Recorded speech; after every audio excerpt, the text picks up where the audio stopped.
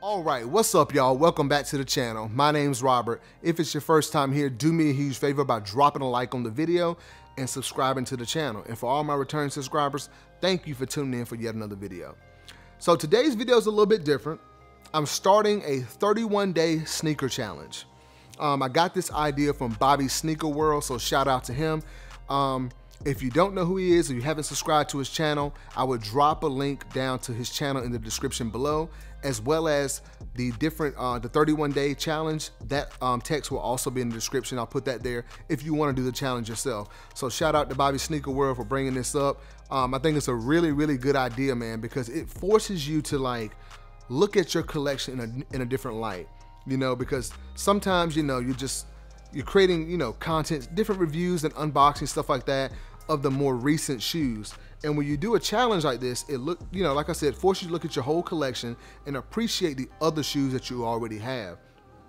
And I've already looked at the whole list and I'm like, I've got some shoes that like I'm excited to bring to the channel to fit these different, you know, challenges or categories. So I can't wait to do that. So let's go ahead and get started with the day one challenge, which is a staple in your collection. Now, I struggled with the first day, I'm not gonna lie, because I was like, I got a couple shoes, two or three shoes that I could consider a, a staple in my collection, but I narrowed it down to just one. And that is the Jordan 11 Low, IE Bred. Yep, I love this shoe that much, man. This is actually the 2011 um, version. Um, if you didn't pick up the 2021 uh, drop that happened last year, I highly recommend you pick it up. It's a classic shoe, man. I don't care what anyone says. This is like the best Jordan period of all time, in my opinion. I don't care if you're talking 11 low, 11 high, patent leather, no patent leather.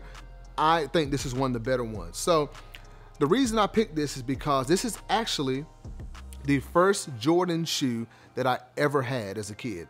So uh, you know, I think I wanted the 10s at one point, but I remember back in the day going into Foot Locker and whatnot, and um, I wanted the Chicago colorway, but all they had was, um, they think they call it the steel colorway now, but it was like the white and black with the gray stripes on the bottom. So I didn't get the 10. So I was like, whatever.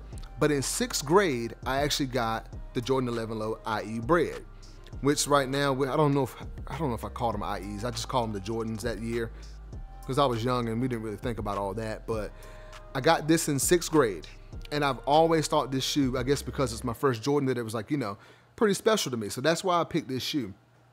Um, now, I also had, I, I struggled with a couple other shoes. I was gonna add the Taxi to this as being a staple in my collection, but I was like, wait a minute, that's the 12. I had this shoe back in the day, so this one would come first. So, but then there was also, in fifth grade, I had the Fila Grant Hill 2.